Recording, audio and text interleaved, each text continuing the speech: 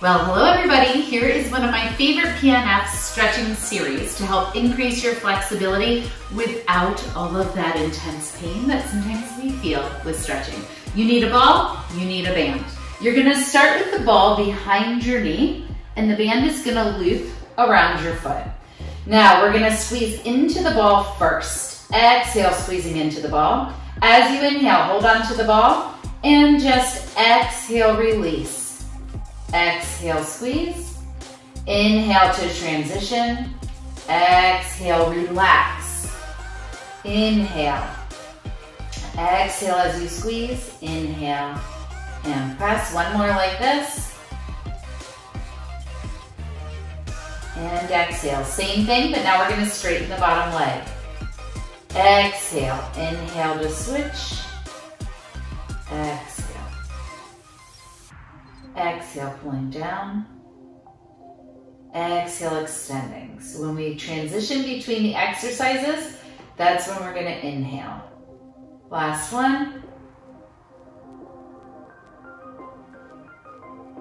Now put the ball to the side. Hold on to your band with both hands.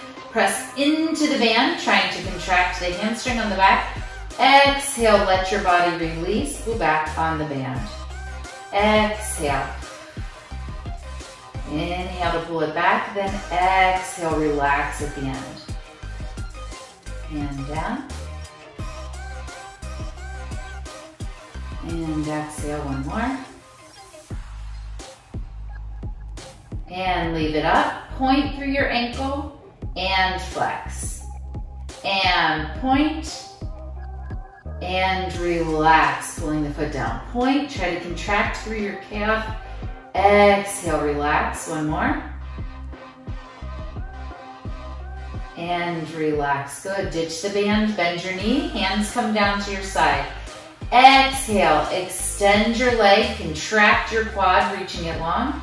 Inhale, relax.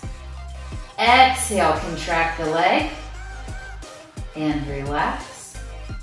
Exhale, relax one more. And relax. Good, bend both knees. The leg you were just working, stretch it long, kick it up. Just see how it feels. Do a little assessment of your hamstring. Now, other leg, kick it up. Ooh, do you feel the difference there? So now it's up to you to restart this video. Do this exact same series on your other side. And then remember, consistency is key. So try to get it in every day. You can do between four and eight reps. Happy training. Peace.